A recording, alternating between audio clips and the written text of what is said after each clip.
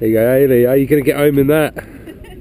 How are you going to get home? What's happened to your car?